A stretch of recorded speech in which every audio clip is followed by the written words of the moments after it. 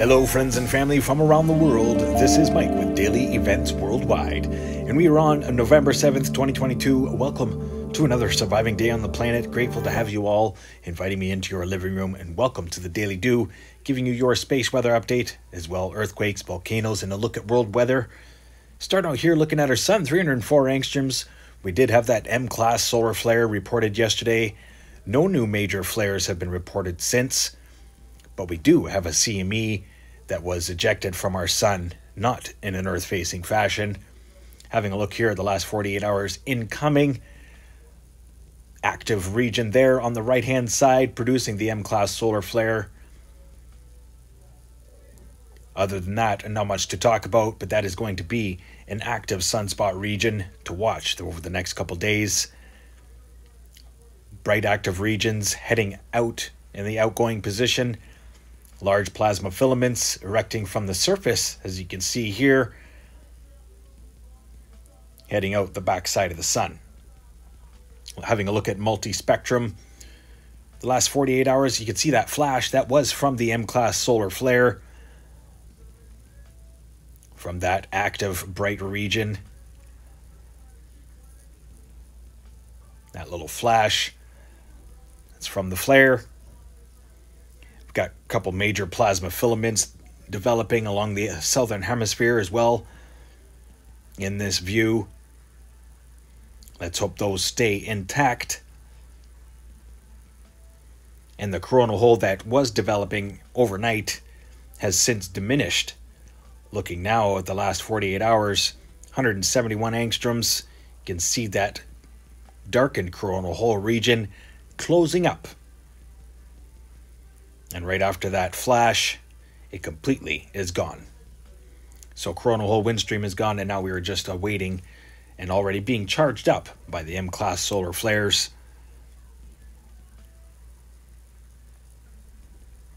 I want to thank everybody personally for watching today. Much love, and I appreciate all the support to the channel. Staying aware and prepared with daily events worldwide.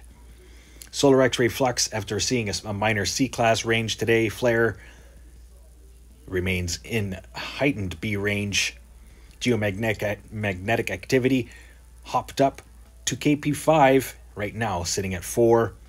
Having a look here, the last 12 hours, this is the electron flux showing the increase of electrons. Real-time solar wind sitting at 392 kilometers per second. Small little spike there ahead of an increasing density up to 24 density bunches coming today. ISWA Space Prediction Spiral showing the new CME blast, as I said, was not in an Earth facing direction, but it is set to amplify the stream, the incoming stream that is coming. Having a look at LASCO 3 here, this is the last three days. Bright planet on the left side is Venus, and on the right, or sorry, on the left is Venus, on the right is Mars showing the last 48 hours of events. Two sun diving comets here to show in the bottom of the frame there, heading into our sun. Pretty cool stuff. And our sun is producing quite a bit of energy. Look at all those flashy elements. That is the influx of electrons and cosmic charged particles heading our way. As we already were experiencing an R2 geomagnetic storm from the M class solar flare.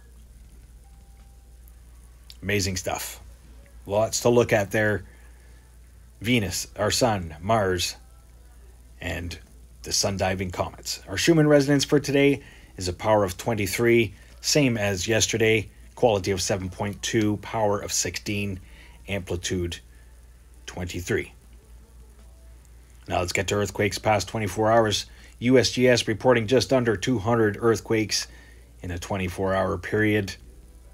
No major earthquakes to report today, but interesting activity developing here. California, Minero, Minidero, BC, Mexico border. As well, 3.6 there, White City, New Mexico. 3.6 there, Stanley, Idaho. And as well, 3.8 Lake Pillsbury, California. So increasing activity northward continuing. Overlooking Alaska, minor aftershocks continue at Adak, Alaska, and increasing seismicity through Anchorage. 5.2, 5.0 earthquakes here to report Russia, southern Kamchatka off the island there, as well a 4.5 and a 4.7 in Japan, in between southern Japan islands and Taiwan. 5.2 there to report Philippines, 4.5 here, Papua New Guinea, Kieta, and our deepest earthquake to report in the past 24 hours 4.5 Fiji Islands, 511 kilometer depth. Largest earthquake today, 5.4, Jurm, Afghanistan, pretty deep, 103 kilometer depth. Quiet through the South American plate, eerily quiet. Activity coming back to the Caribbean. But other than that, not much activity west of that. Quick look here at the last seven days for earthquakes two sizable earthquakes to report off the coast of North American plate this week, large 6.1s. And the activity is moving northward towards the Cascades.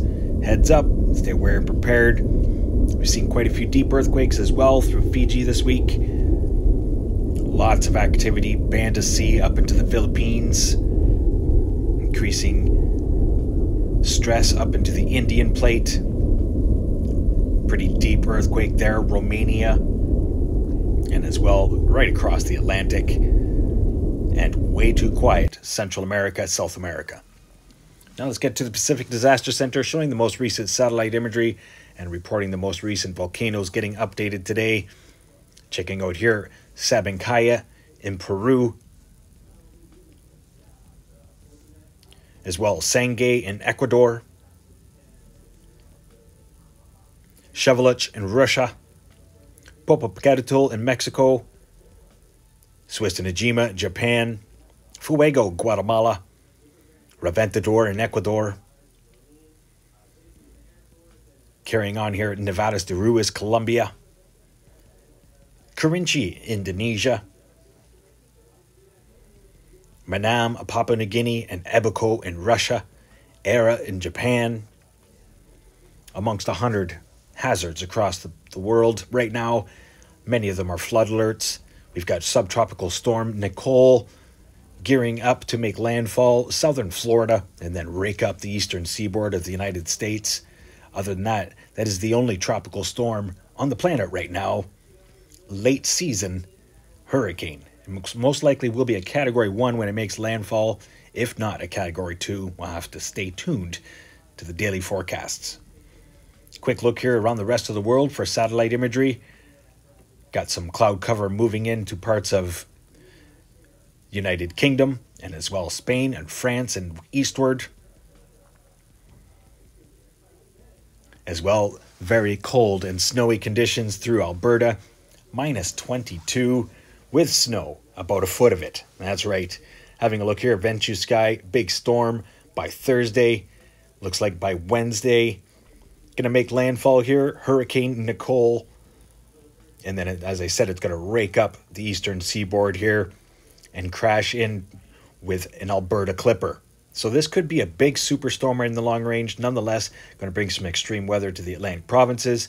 Lots of snow towards Quebec and Ontario. Lake effect snow for Ontario as well this weekend. Forecast here from the west. Big low coming in. Lots of snow. No major tropical systems developing after that.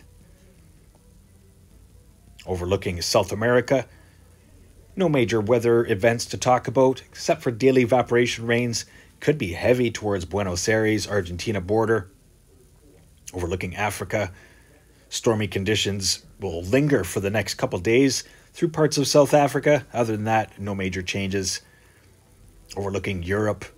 The snow is falling through eastern parts of Europe and as well Russia. Stormy conditions over Iraq and Iran. And some big systems funneling themselves into the United Kingdom this week. Overlooking Southeast Asia, the Philippines, Malaysia. Daily evaporation rains heavy through Indonesia. And as well, by next weekend, you got a pretty strong system heading into parts of southern India Could be a cyclone by the time. Other than that, the West Pacific is not producing any more major tropical systems. Long range, we could see a doozy heading into parts of eastern India. Overlooking Australia, dry conditions will continue here until about Thursday, Friday, as you have the next low that moves in from the south. Going to bring widespread showers and extreme weather. Other than that, it is the cold that is going to be the big story this week. North central United States, that extreme cold will be funneling down into there by next Saturday and Sunday. But long range forecast watching these extreme cold temperatures grow even bigger as the polar vortex is really starting to set up. Going to leave you here with a quick look at our polar vortex in the northern hemisphere and a small comparison to the southern hemisphere. Very cold air, as you can see, funneling down from Siberia. Large high pressure ridge over the Pacific. And there's our southern hemisphere polar vortex. Winter's definitely setting up, and we've got a full moon, and a lunar eclipse early tomorrow morning. Thanks for watching, everybody. Hope you enjoyed the show. Stay aware and prepared, stay young and have fun, and get your daily due. Bye bye now. Thank you so much. Much love. Bye bye.